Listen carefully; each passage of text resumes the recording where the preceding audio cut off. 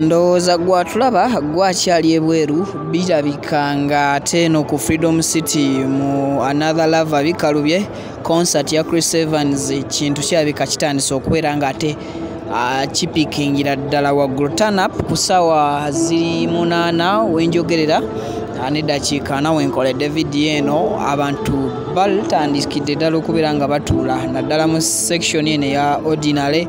Uh, mu vip nengerayoko batonotono naye uh, section eno ya ordinary ey'abantu bali kubeera nga ate batuulira ddala.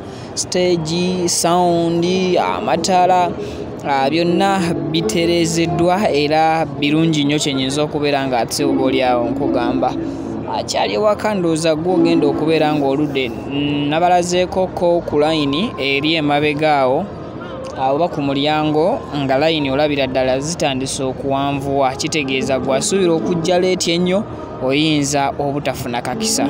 Nga bwe nkugambye nti layini zo ku mulyango zikyawanvuira ddala era abajja batandise okubeera nga basinga kwabo abasoose okuyingirira ddala ku ssaawa nga mukaaga we nakoledde vidiyo esooka so kitegeeza essaawa zino abantu batandise okubeera nga ate beeyongererayo ddala. Ekyenjawulo kumumi n'abagenda okujja mu konsati ya chris evans another lava bikalubye obutebe tebiringa bivulu biri ebirala ebisinga obutebe bwa bwereere.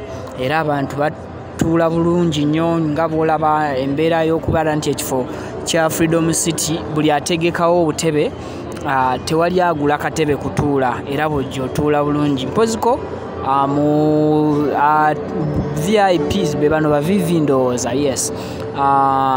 Abali kubeera nga bagula tables tables ateeketeekeddwa dda era ezimu ziri reserved ziraga zabuukingiddwa dda. Oba oli awo abatannaba kubeera nga bazigula nga nabo bazaagala nabo ababategeke